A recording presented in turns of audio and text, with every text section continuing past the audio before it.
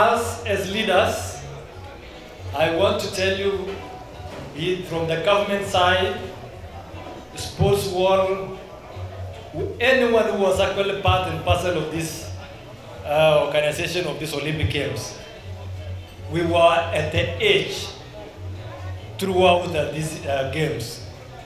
At some point, we didn't know whether we were going to go to, or maybe to have these games uh, go on again. But luckily, these games ended well. To the EAPL, I want to say thank you very much. You have been, you have shown the way. Many companies were pulling away, but you never shied away. You came in uh, to support us. To the athletes, what can we say? We are here to celebrate the fantastic results that uh, you gave us.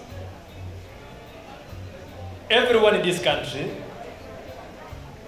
as even when we were the other side, they were thinking that uh, how is this games going to go?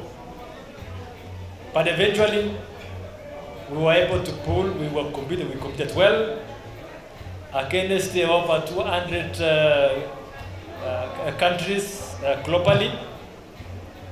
And we were able to march victoriously. In Africa, we worked on. So I want to say again to the athletes, uh, congratulations again. And I'm very proud of you all.